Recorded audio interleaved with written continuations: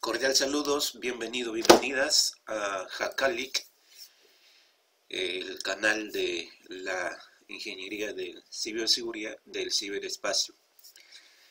El, video de hoy les voy a mostrar cómo, cómo, cómo desinstalar el dugo de nuestro escritorio de PC.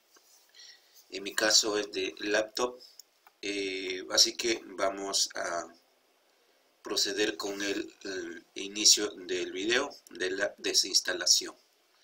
Bien, eh, para que puedan ver lo de este video, el video de cómo descargar e instalar DuckDugo en, para Windows, ya lo pueden ver en nuestro canal de Hakalik con H.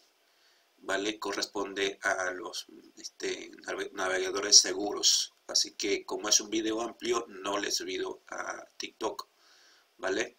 Entonces voy a cerrar y voy a abrir el navegador DuckDugo y eh, me voy a ir a la parte superior en la parte superior este donde están los tres puntos ok le doy clic ahí y me va a mostrar una pequeña ventana y aquí me muestra vamos a seleccionar desinstalar tubo bien esa es una manera le voy a dar clic ahí y aquí me dice mm, borrar también los datos del brave dudugo.com el que está vinculado con Brave.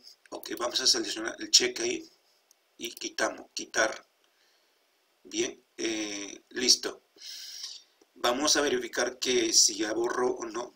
Ha eliminado el, icono del escritorio, pero vamos a ver porque tenemos instalado los dos de las dos formas, aplicación y navegador. Bien, voy a escribir en la parte superior o sea, vamos a irnos al menú inicio de la ventana de Windows 11 y en, dentro, vamos, en el buscador vamos a escribir DuckDugo, pero aquí ya nos muestra un DuckDugo. Eso quiere decir que todavía está habilitado, que son dos, eh, dos tipos que hemos instalado, eh, el navegador para escritorio, para Windows, y el otro es el navegador de aplicación. Lo que hemos eliminado es el navegador de aplicación. ok entonces falta desinstalar el navegador de, de Windows bien para eso vamos acá donde nos muestra seleccionamos desinstalar abajo presionar el botón desinstalar desinstalar y eh, dice se está desinstalando ok eh, esto o bien a veces no puede mostrar la ventana de programa de, desinstalación o simplemente lo desinstala automáticamente. Puede variar. Así que yo ya le voy a dar aquí clic a ver si me abre o no abre. Y pues no, ya no me abre porque seguramente ya desinstaló. Le doy clic y no hace nada.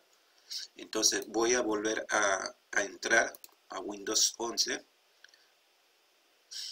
y aquí voy a escribir DuckDugo y pues ya no me aparece, lo que me aparece es el instalador del DuckDugo. Entonces, de esa manera lo eliminamos el DuckDugo. ¿Listo?